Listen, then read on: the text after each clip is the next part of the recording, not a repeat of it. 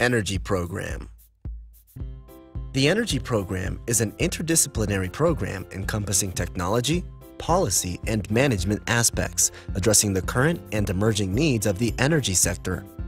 The program prepares leaders for clean energy transition in the 21st century. In response to the regional demand, we offer specialization in energy technology with focus on renewable energy technologies, especially solar and biomass, and the rational use of energy and efficiency.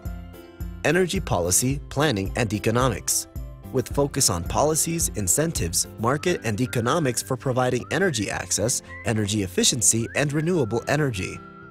Electric power system management, with emphasis on the emerging issues of power system operation and control, deregulation of power system, and the smart grids.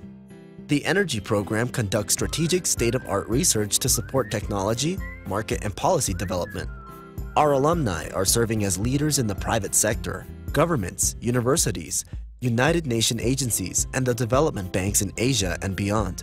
Let us enhance your career path and value to the employers and steer the development towards sustainable development and environment preservation.